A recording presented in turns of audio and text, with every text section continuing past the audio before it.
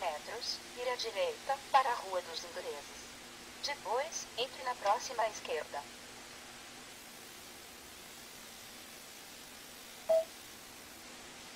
Entre na próxima esquerda. Depois, faça uma curva leve à esquerda.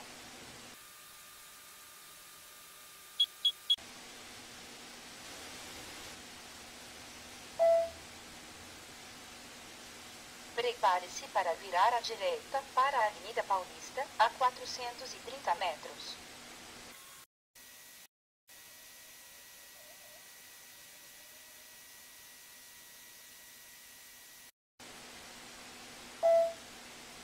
Entre na próxima direita.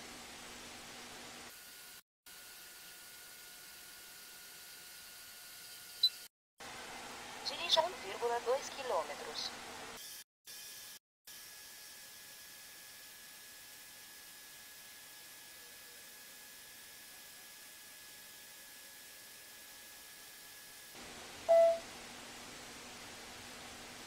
Prepare-se para chegar em seu destino, em 800 metros.